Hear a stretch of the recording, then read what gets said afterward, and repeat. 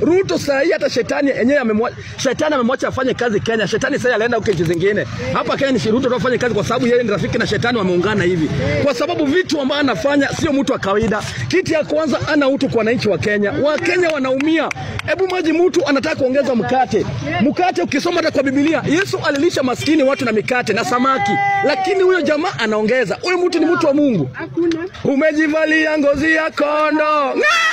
Umejivalia ngozi ya kondo.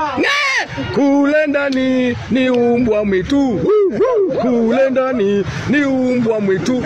Wacha nikwambie my friend, tunajua kabisa kitu ambacho unafanya. Baba relax. Kwanza baba naomba hivi, piga sherehe yako, enda kila mahali. Tulia. Usiwe na haraka na wananchi, maana wananchi wa Kenya hawana shukrani.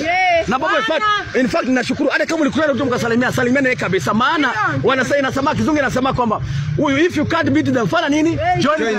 Western kuna mtu ambaye ako na akili na tena nafikiria. Natembea na kushukuru. Natembea umekuja kuokoa watu wa Western.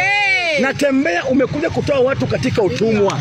Natembea umekuja kutoa watu katika njia, katika mnyanyaso ambao mnyanyaso wa miaka mingi. Kenya tumeuzwa na Kenya tutazidi kuuzwa. Tusipofunguka kile mawazo, tusipokaa pamoja na tuungane pamoja. Nakwambia hakuna mahali Kenya inaenda. Maana viongozi ambao tumechagua wote ni wanafiki. Wote ni wezi.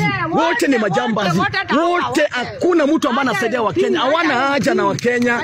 So long as akipata pesa, akishapata pesa kesho niliwambia last time, ukiwa kanisani ukitaka gari, mchungaji anakuombea, lakini mchungaji akitaka gari, yeye anachangiwa. Auone unachezewa hata wewe.